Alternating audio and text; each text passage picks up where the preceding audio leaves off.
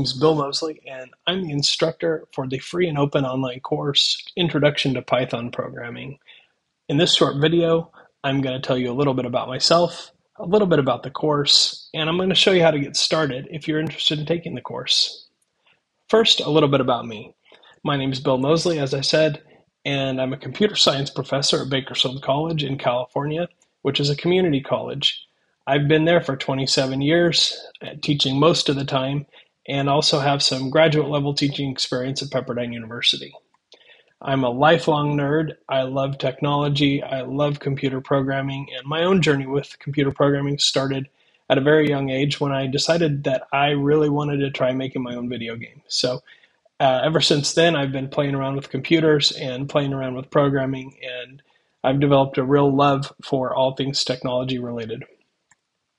So, about this course, what's included?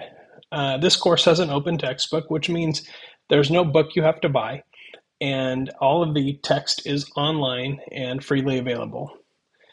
There are a, a fairly extensive set of video lectures for the course, and those lectures are taken from my actual in person course at Bakersfield College and modified and edited as needed.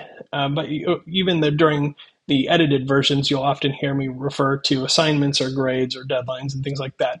Obviously, for this course, none of that applies, but most of the material in those video lectures you will find very useful and helpful for you.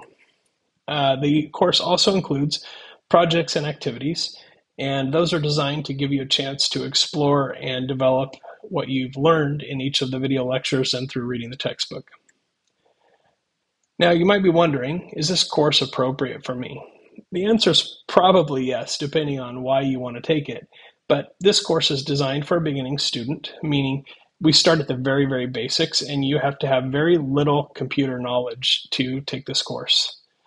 Um, you could, t- however, take it with any level programming experience. Honestly, um, somebody who's an experienced programmer and just wants to learn Python could speed through this course and learn Python, um, adding it to what they already know about programming.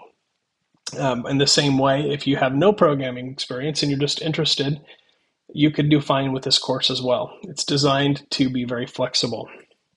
If you're just curious about coding, this is a great course because Python is a great beginner's language and it's very accessible for beginners.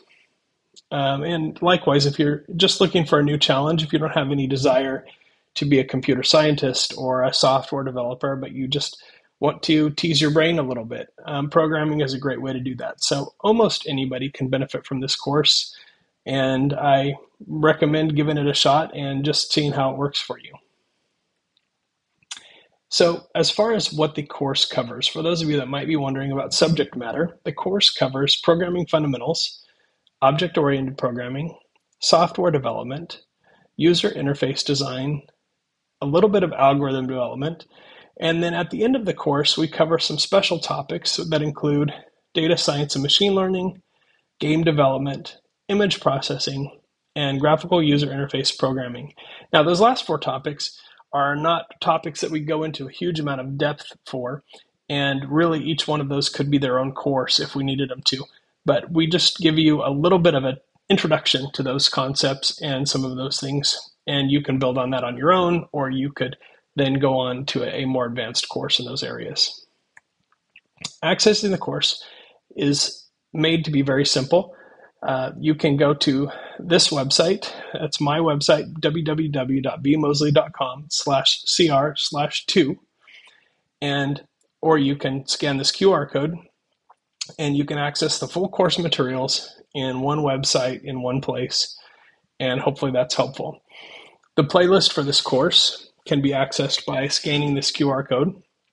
But you should also know that at the end of this video, uh, the playlist link will come up for the next video in this playlist.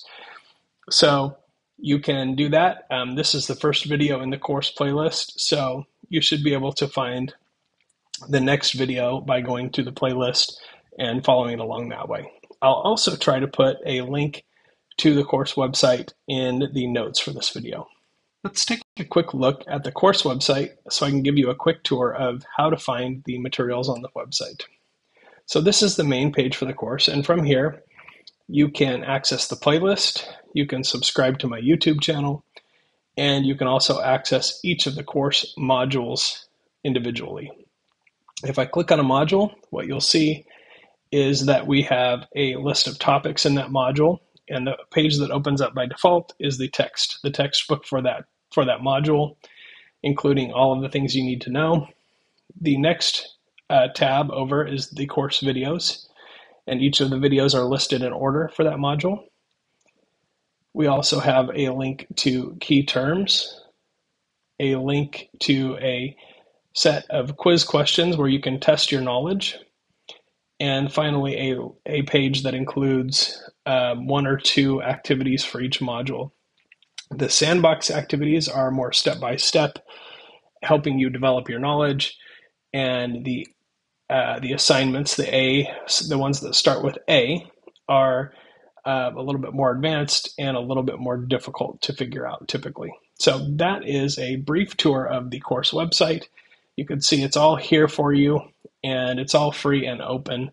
And hopefully it is useful to you. And um, feel free to reach out to me if you have questions or if you have suggestions for improving the course or if you have ideas. Thank you so much for watching my video, and I hope to see you online.